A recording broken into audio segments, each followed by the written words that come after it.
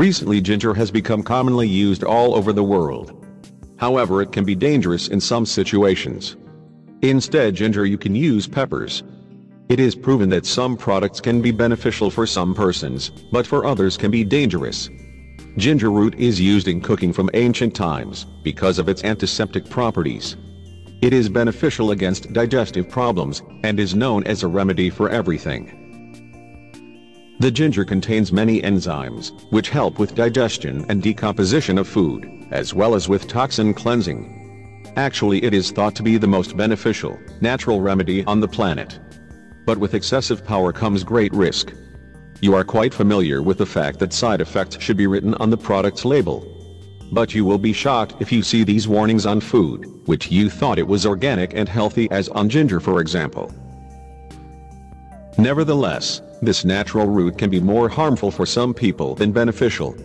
Doctors recommend not taking more than 4 grams of ginger daily, or if taken in higher dosage, it can cause nausea, vomiting, heartburn and pain. These groups of individuals must avoid ginger.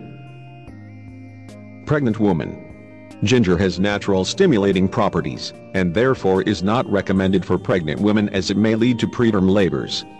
Future moms who are in their last weeks of pregnancy should strictly avoid it. Underweight individuals.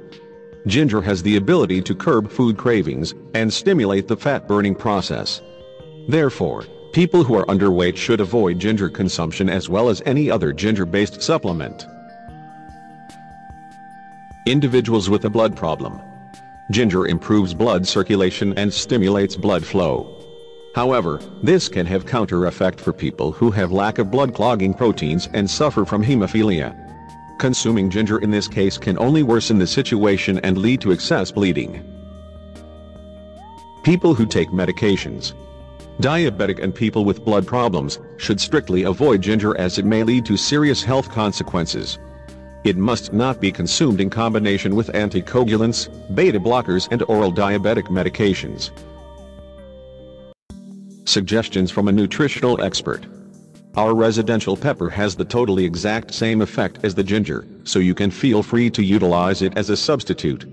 If you like spicy foods, utilize the red pepper, as well as for those which do not such as that, the sweet peppers are consistently here. Add it in lemonade, and also you will certainly get a fantastic beverage for cleaning the physical body, explain nutritionists.